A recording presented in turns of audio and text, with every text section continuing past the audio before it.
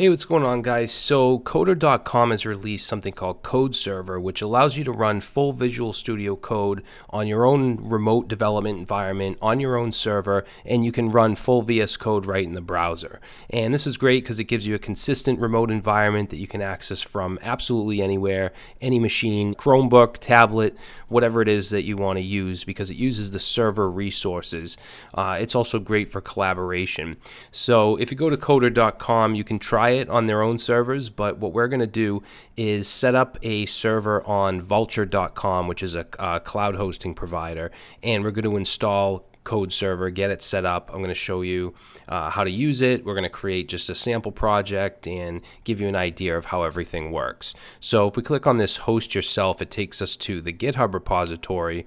Uh, and if we scroll down here, you'll see it gives us a Docker command. So if you want to run it in a Docker container, you can do that.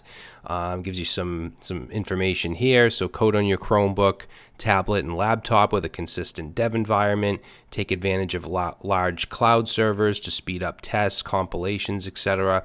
Uh, preserve battery life. So there's a lot of advantages to having a, a, remote environment like this. And if you're like me and you, you don't really like Vim and, and some of the um, command line text editors, you now can use Visual Studio Code right on your server. Um, so let's go ahead and, and try this out. Now, I'm using Vultr, but you could use any cloud hosting provider or your own server. Uh, DigitalOcean is another one that's great. Linode, there's a bunch out there. AWS, of course. Um, but we're going to use Vultr, and I'm going to put a link in the description that gives you $50 credit uh, towards your account. So if you want to check that out. Now, I'm already logged in, obviously. I'm in my dashboard. Um, and just clicked on servers here, and I'm going to just deploy new server and I'll just go ahead and choose, uh, let's choose New York, I'm in Boston. Uh, and then down here we choose our operating system. I'm going to use Ubuntu and I'm going to use 18.04. All right, and then they have packages from $5 a month all the way up to $160 per month. So it really depends on what you need as far as resources. Uh, I think the $10 per month is, is, is fine for what, what we're doing here. So let's see, I'm, i already have an SSH key set up um, but I'm not sure if it's valid actually. So we'll try it out. If it doesn't work, then we'll use the password. Um, so server name, we'll say Traversy Media, and that's it. Let's go ahead and deploy. So it's just going to take a, a minute or two to set this up. So when this is done, I'll be back. Alright guys, so my server is now up and running. You can see I have the IP address right here. So I'm just going to grab that and I'm going to open up a terminal and SSH into the root user at my server. Now, mine logs right in because I have an SSH key set up. If you don't, then you can use the password by just going to manage and right here you can see password and then if you click that icon it'll just show you the password and you can use that. And I don't care if you guys see that because I'm going to delete this one after. All right so we're now logged into the server. I'm just going to clear this up and we want to install code server. So if we go to the github page here you'll see this download a binary and currently there's binaries for Linux and Mac.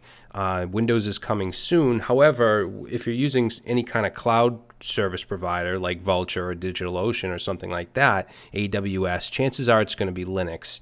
Um, so we're going to click on download a binary. And we want this one right here, the tar.gz. This is the Linux file that we want. So I'm going to just copy the link address and go into my terminal. And there's a few ways you can download things from the command line. I'm going to use the wget command. Uh, I know I know a lot of you guys probably know some of these commands, but for those of you that don't, I'll, I'll just explain it.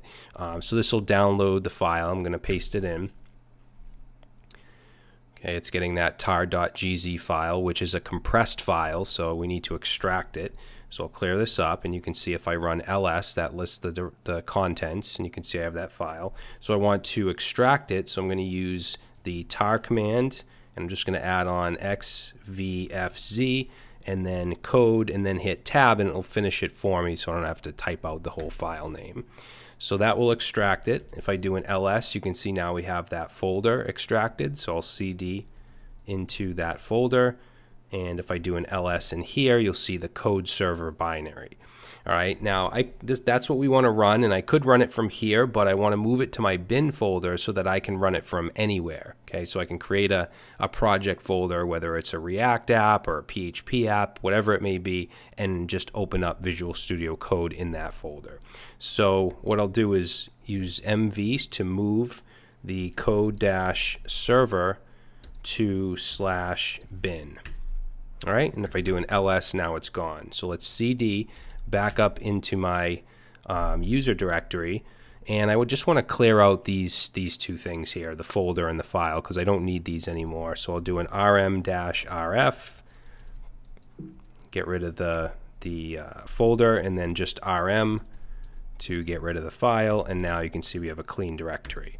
So now let's create, uh, we'll say make directory my app. Okay, we'll create a project folder, we'll cd into my app, and now we should be able to just run code dash server. All right, so what happened here is it, it ran the binary and it runs it on, it runs code server on port 8443. So let's grab our IP address. And of course, yours will be different, but we're going to paste in the IP address in port 8443. All right, now we don't have an SSL installed, so you're going to get this message here. Uh, if you just click advanced, you can just proceed. But if you're going to set up a dev environment and use that, you know, professionally, you should probably secure it.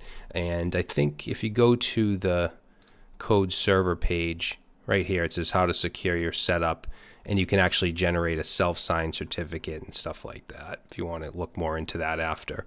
Uh, but as you can see, we get this enter your password page. So we want to go back to our terminal where we're running code server and just grab that temporary password because obviously you don't want anybody to just come to your domain or your IP address and be able to mess around with your files. So want to put in that password and there we go. So now we have VS Code running, full version of VS Code running on our server remotely. And I'm just going to do a couple things just to show you the workflow and, and how fast it is. And remember, we're only on a $10 per month plan. It's not like this is some crazy powerful server. So let's, um, let's see, let's go to the settings and you can see that all the settings are going to be the same. I'm just going to increase the font size a little bit. Let's do 26 and also the terminal settings because we also have the integrated terminal. Uh, let's see, where's the font size? Let's change that to 26 as well. Okay, um, and we can install extensions and themes. So if I open up the uh, command palette and I search for themes, so let's say color theme.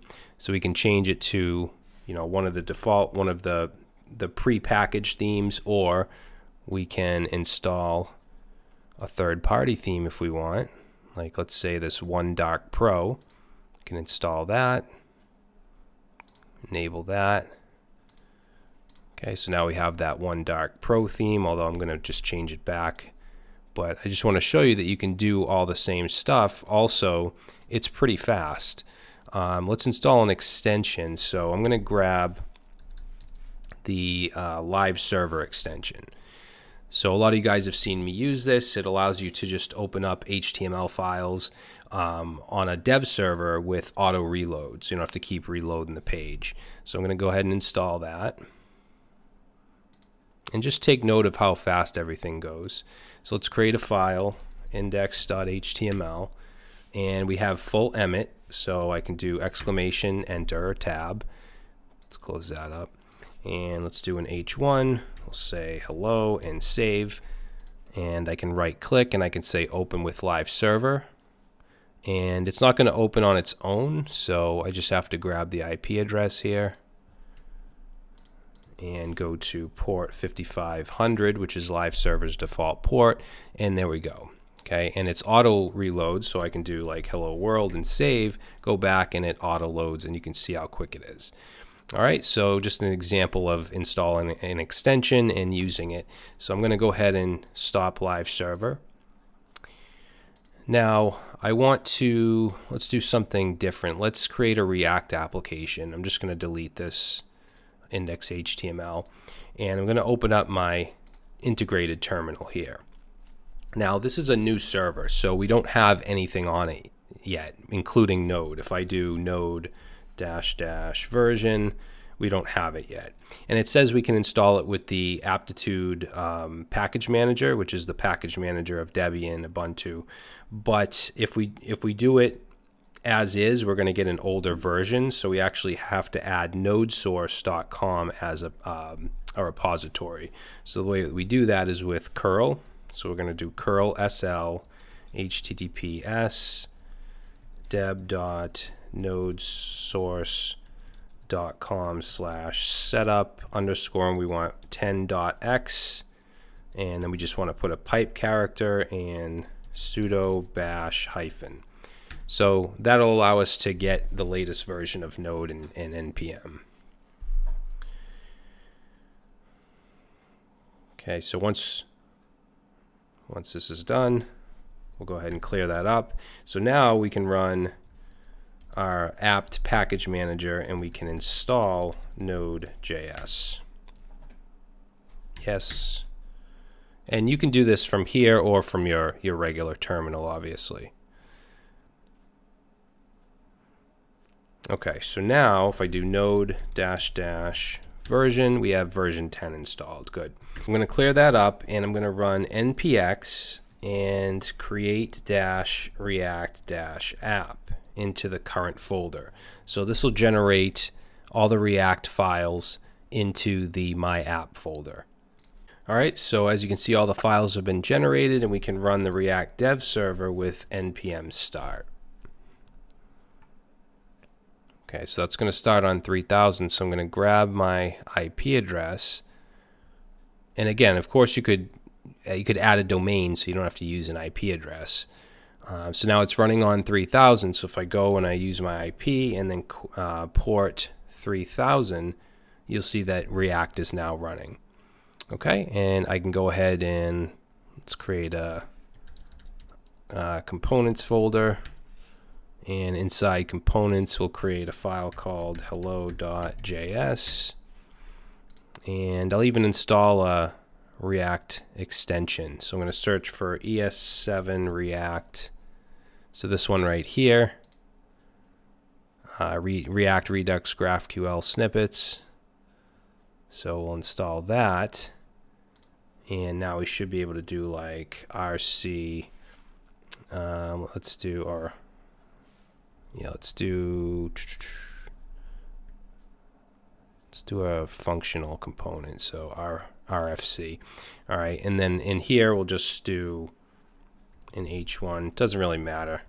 Um, now, this is something I wanted to mention as well, and this isn't just with this is with VS Code in general. If you want to enable Emmet within JSX, which is what React uses, then you have to go to your settings. So Let's go to settings and let's search for Emmet. And we want this included languages right here. We need to say edit in settings.json. And we need to add here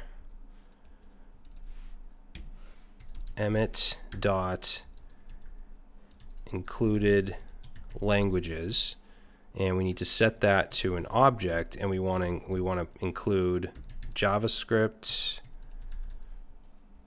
and set that to JavaScript React. And we'll save that. Uh, let's see, what am I? Unknown configuration setting. Um, oh, I'm sorry, it's include, not included. So include languages. All right, we'll save that. And if I go back to my component here and I do an H1 tab or enter, then Emmet now works. So we'll just say hello world. Let's save that. Let's go back to our file structure here and go to our app.js. And we'll go ahead and import hello from dot slash components you can see IntelliSense works the same way it's it's really cool and we'll just replace this learn react here with our hello component and save. And automatically, if we go back to our application here, we get this hello world. All right, so you can see how nice and fast this workflow is.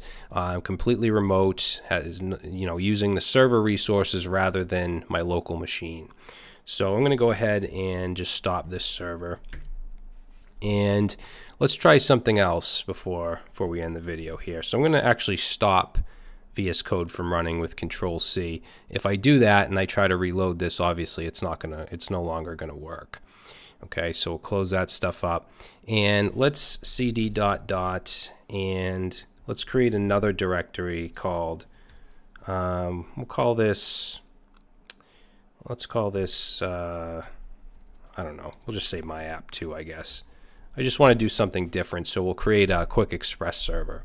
So we'll cd into my app 2 and let's run code dash server from here. Okay, so again, we're going to get a password.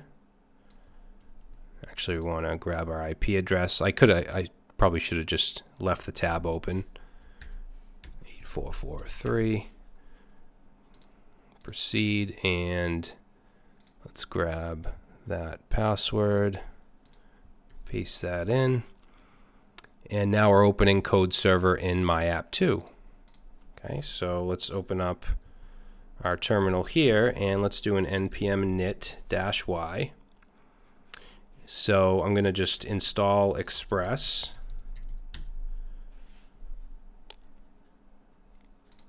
Okay, and we'll go ahead and create a new file here. We'll call it server.js. And let's just do this real quick. So const express equals require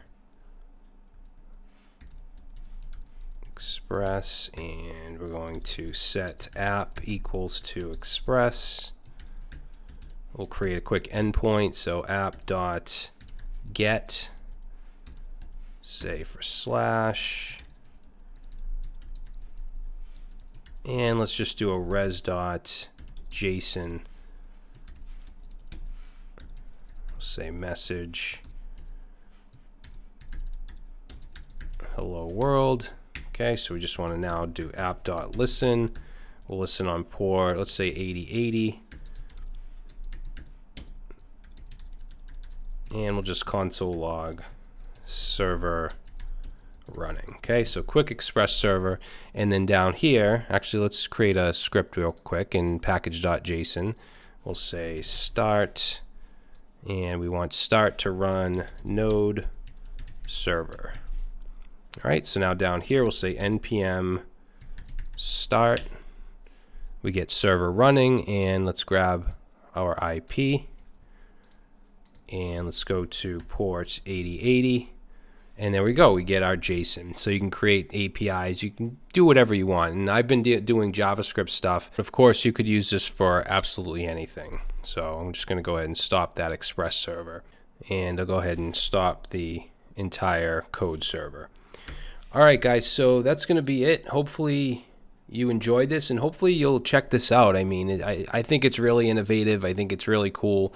Um, I'm definitely going to use it and it's a great way to to to have a remote dev environment and to just access files on your server remotely with VS Code rather than some of the command line text editors. I know some people really like Vim. I personally do not. Um, so I think it's a great way to access files and also share and and you know there's there's a lot of advantages to it. So thanks for watching, guys. I'll leave a link in the description. I'm also going to have a link to get $50 off um, uh, for Vultr if you're interested in creating a, a cloud server. All right, so thanks for watching, guys. Please leave a like if you like this video, and I'll see you next time.